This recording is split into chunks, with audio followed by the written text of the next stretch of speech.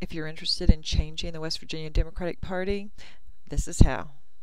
Real change doesn't take place on Capitol Hill. It takes place in grassroots America. It takes place when millions of working people, young people, and senior citizens come together to demand that our government works for all of us and not just the 1%. When the people lead, the leaders follow. Bernie Sanders. So, let's get busy leading. So let me begin just by saying why it's important that we try to fix our state party. The state party has an enormous responsibility or ability to either support candidates or not, to give or withhold resources from from candidates and from committees. Things like fundraising lists. They can either promote candidate events through email or social media, or they could ignore candidate events. They can give or withhold access to voter databases, which is extremely important for candidates.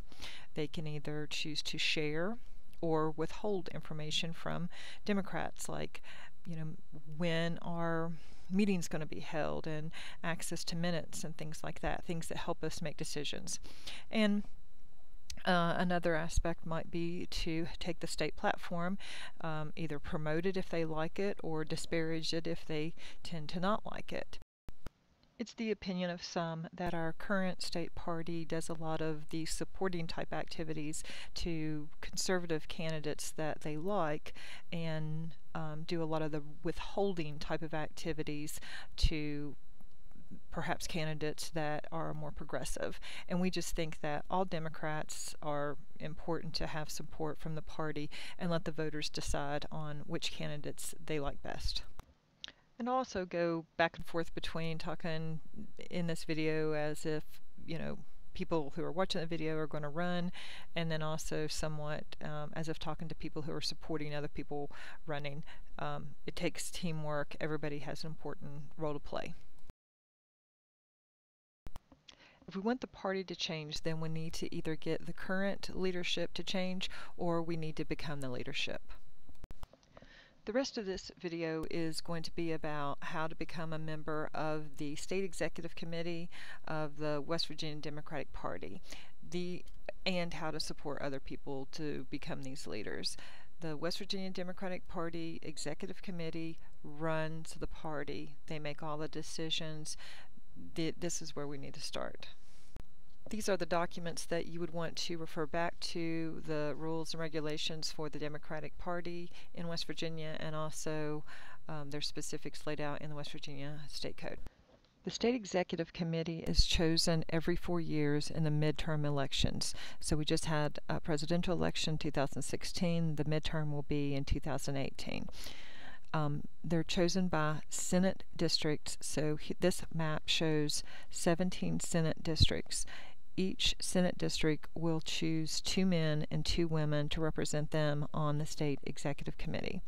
It's also important to note that only two people from the same county can serve on the committee.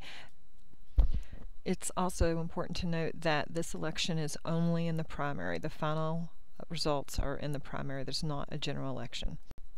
All right, so this sad drawing represents 17 Senate districts in West Virginia.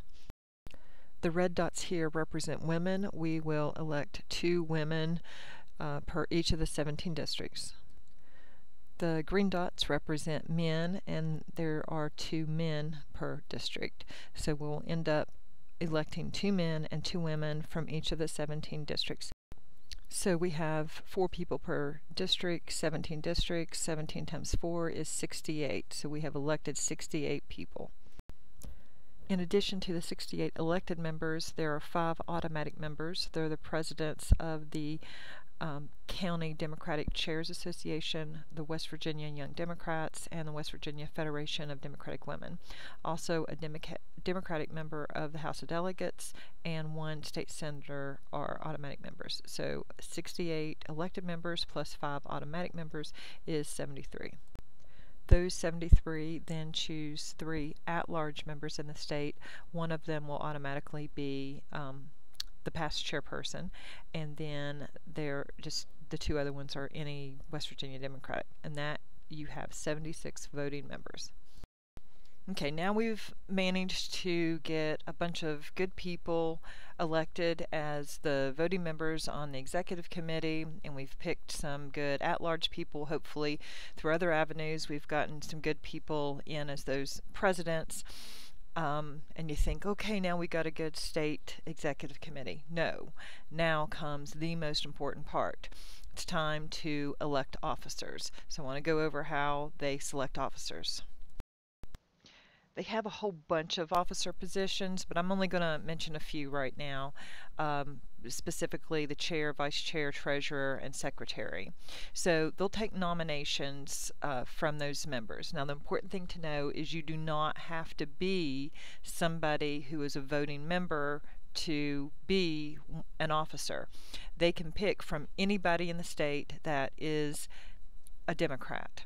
And that's often what happens. Not always, but often. And often, I think what happens is somebody very, very influential either is at the meeting or instructs people outside of the meeting who they want or they think that should be in those positions. Now, there's nothing wrong with that, but um, it's important for the people who were elected by their districts to make sure that the people who get in the officer positions are going to represent those people that put them there. And here's just sort of an example. Uh, people in green would be voting members, people uh, in blue would be non-members. So you could end up having a chair who is uh, you know, duly elected member, vice chair who is a non-member of the committee, treasurer non-member, secretary a member, and a few other uh, officers that are kind of mixed up. Now, why is this important? Well, the the officers run the entire party. The voting members are only required to meet one time a year. Um, so really, especially the chairperson runs the party. They hire and supervise the the staff in the office. They set the direction. Uh, they're supposed to follow the direction of uh, the entire committee, but they may or may not do that. So picking good officers, especially a good chairperson, is critical to changing the party to be representative of the people. The committee picks two other positions.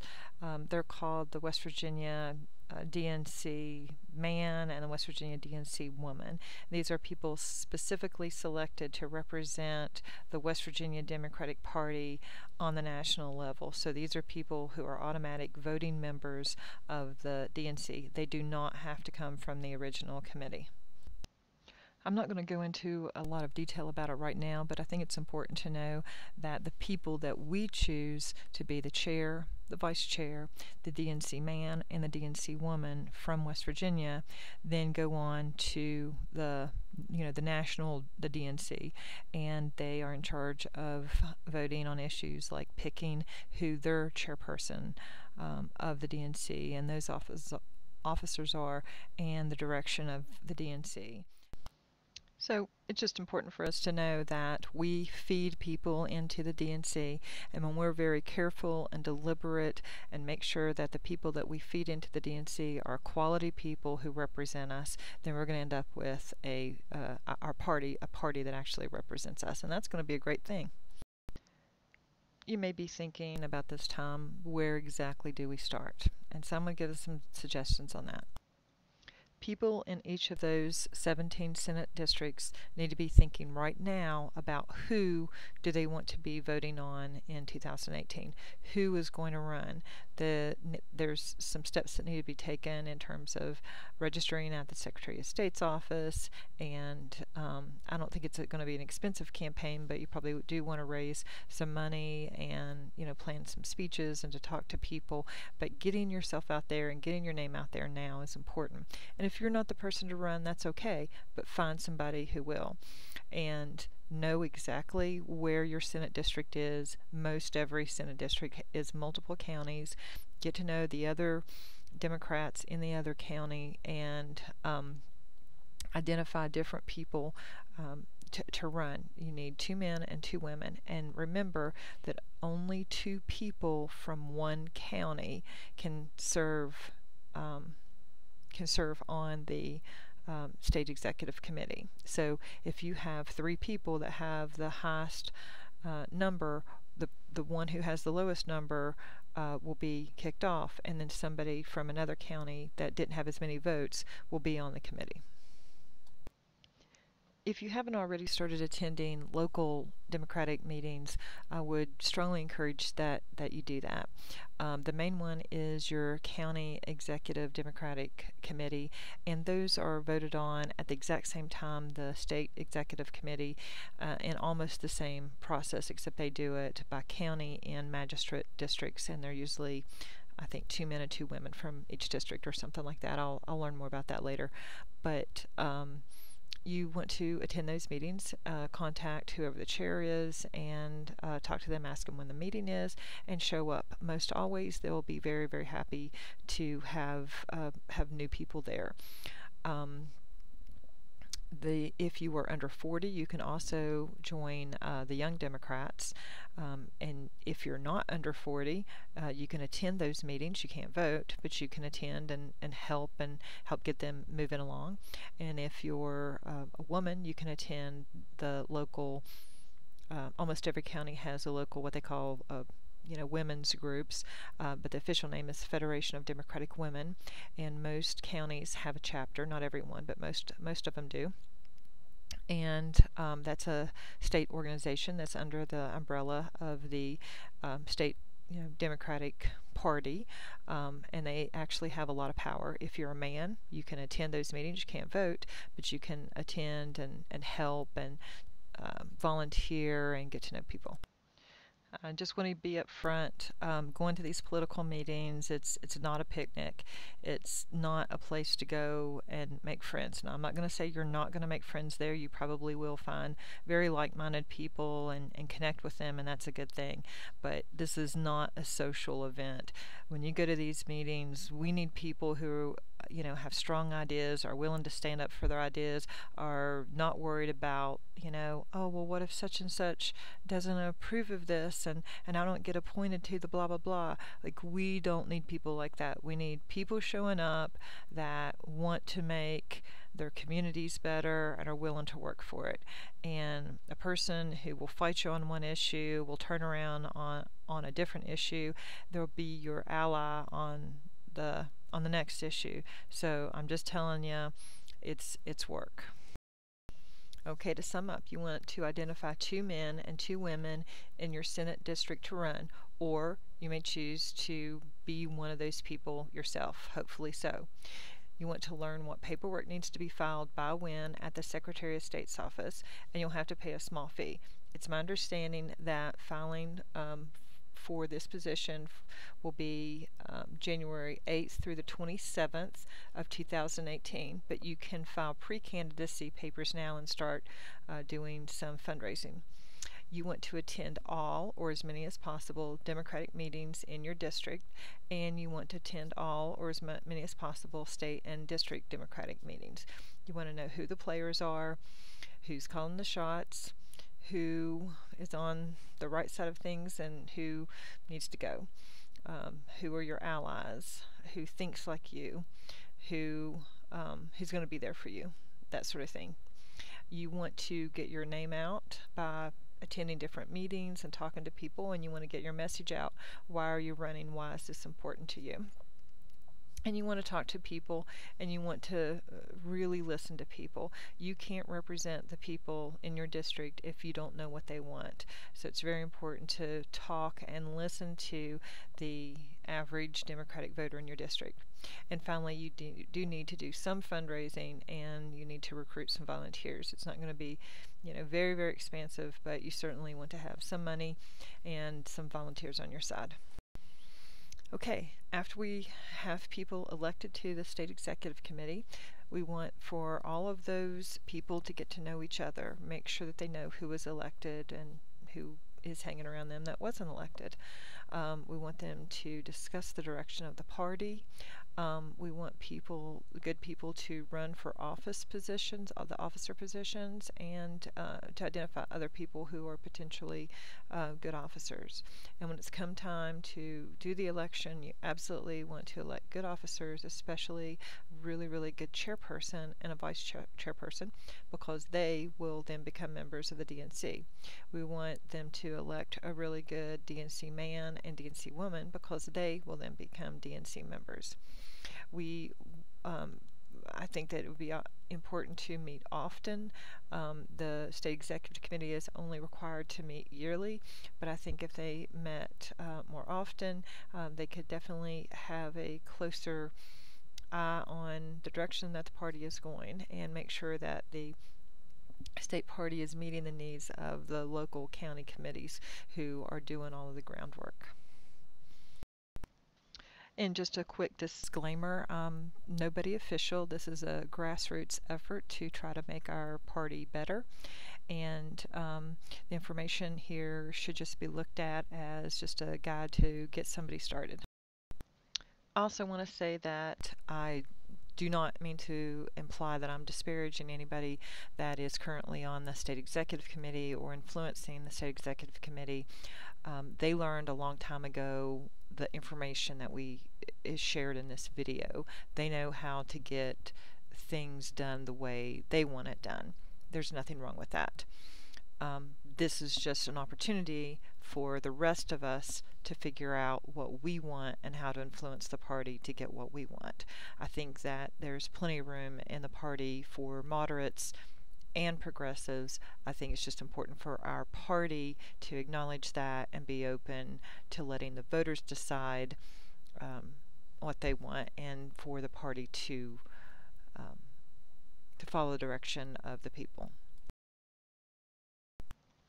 Here's some resources that might get you started. Uh, you want to go to the West Virginia Dems um, page um, you also want to go to the Federation of Democratic Women page and Young Dems. You do not have to be a woman, you do not have to be under 40 to participate in those organizations.